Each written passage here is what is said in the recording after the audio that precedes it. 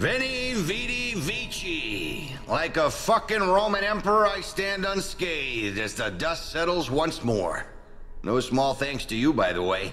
That was quite the pickle you got me out of. Yep, no gospel choir of repressed fucking sissies is gonna take down the mighty Cicero.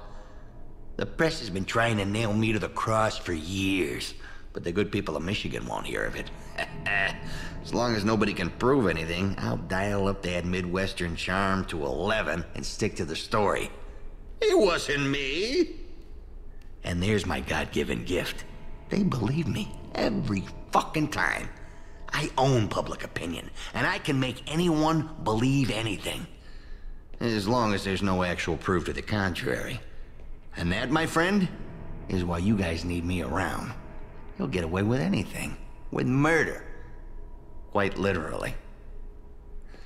So let's you and I set up another meeting sometime. We can...